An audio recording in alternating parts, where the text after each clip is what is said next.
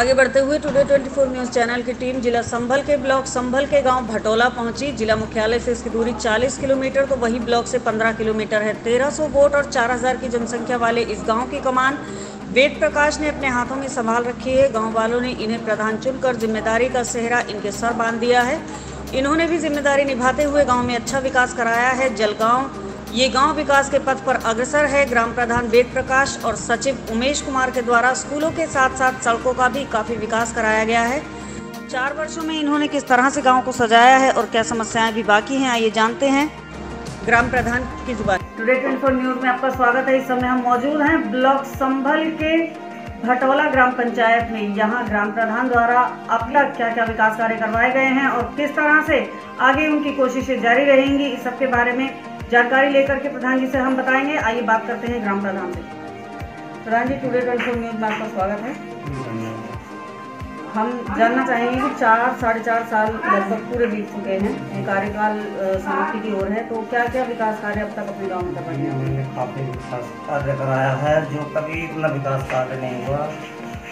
एक सौ तिरानवे शौचालय बनाए हैं। और मैंने सब सी सी टाइल कराई हैं सब। और भी अब सामुदायिक शौचालय आवास अभी तक नहीं मिले। बाईस आवास पास हो चुके हैं और सामुदायिक शौचालय का काम अब चल रहा है। जो तो आवास के लिए कितने परिवार यहाँ ऐसे होंगे अभी जिन्हें आवासों की ज़रूरत है? आवास मतलब हैं बाईस परिवार हैं मैंने सब रास्ते गाँव में आपके सभी पक्के हो गए या अभी बचे हैं? पक्के हो गए? अब कोई कच्चा रास्ता नहीं एक भी रास्ता कच्चा नहीं बचा है। रास्ता नहीं बचा सरकार की जो योजनाएँ चलती हैं जैसे उज्ज्वला कनेक्शन या सौभाग्य योजना या जो किसानों को सम्मान निधि का पैसा मिल रहा है तो ये आपके गाँव में कितने परसेंट लोगों को इन सभी योजनाओं का पूरा इस योजना का कम से कम अभी ऐसा मान लो चालीस परसेंट का केवल चालीस परसेंट। चालीस परसेंट। इसका कारण?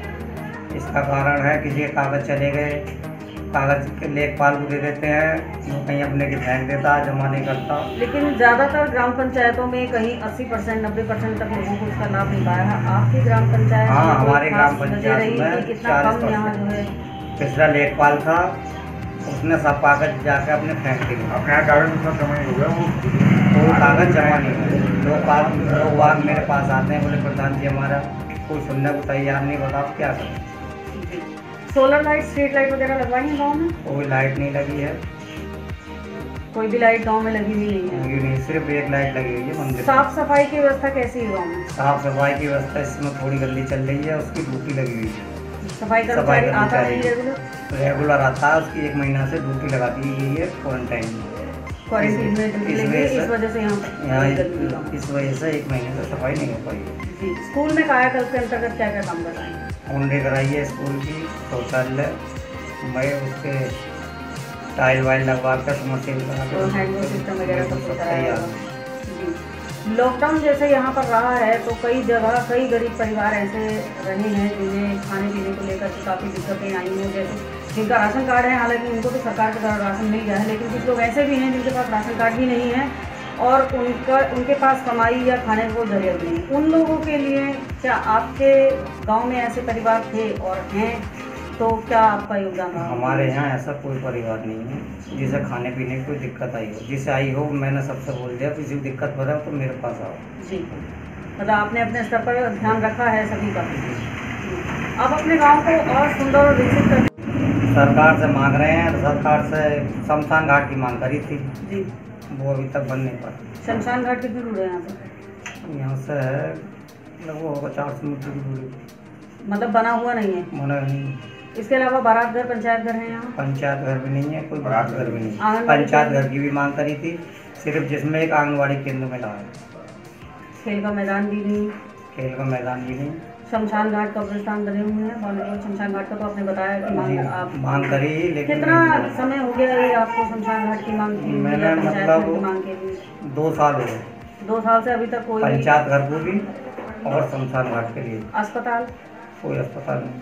कितनी दूरी पर है यहाँ से यहाँ से दूरी पर है कम से कम चार किलोमीटर की दूरी पर। चार किलोमीटर से पहले कोई भी स्वास्थ्य केंद्र या स्वास्थ्य केंद्र नहीं है।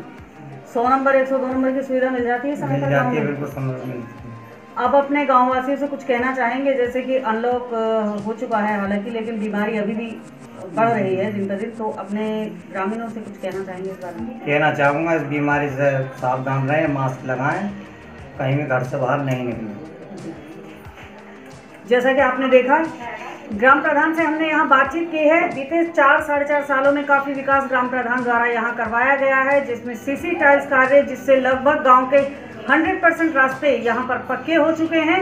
इसके अलावा उड़िया ग्राम पंचायत हो चुकी है। कुछ आवास भी यहाँ आवास यहाँ लोगों को नहीं मिले हैं, जबकि 22 परिवार यहाँ ऐसे हैं जिन्हें आवास आवास यहाँ एक भी नहीं मिला है जबकि 22 परिवार यहाँ अभी भी ऐसे हैं जिन्हें आवासों की ज़रूरत है। इसके अलावा मिशन कायाकल्प के अंतर्गत स्कूलों में भी सौंदर्यकरण का काम करवाया गया है। अगर समस्याओं की तरफ़ यहाँ नज़र करें तो कुछ समस्याएँ यहाँ अभी भी बाकी हैं जैसे कि बारात घर पंचायत भवन जो कि यहाँ अभी तक निर्मित नहीं है और जिसकी मांग यहाँ पर पहले भी रखी जा चुकी है। पंचायत भवन की और शमशान घाट को लेकर यहाँ पर प्रमुख मांग रखी जा चुकी है। पहले भी जिसका कोई भी अभी तक पिटने के काम है जिसका अभी तक कोई भी शासन या प्रशासन की तरफ़ से किसी भी तरह का कोई आश्वासन नहीं मिला कोई कार्रवाई कोई स्वीकृति अभी तक नहीं मिल पाई है।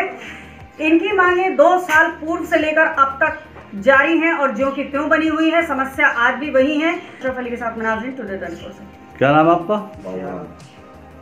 कहाँ के रहने वाले हो? यहाँ पे साढ़े चार साल हो गए हैं ग्राम प्रधान जी के कार्यकाल को। ठीक है मैं कह दूँगा उससे विकास को लेकर क्या कहना चाहोगे? विकास सही हो रहा है हमारे यहाँ? किस तरह से? सड़कें नालियाँ वगैरह सब सही हो रही है। आप इनके कार्यकाल से खुश हो? हाँ खुश हूँ।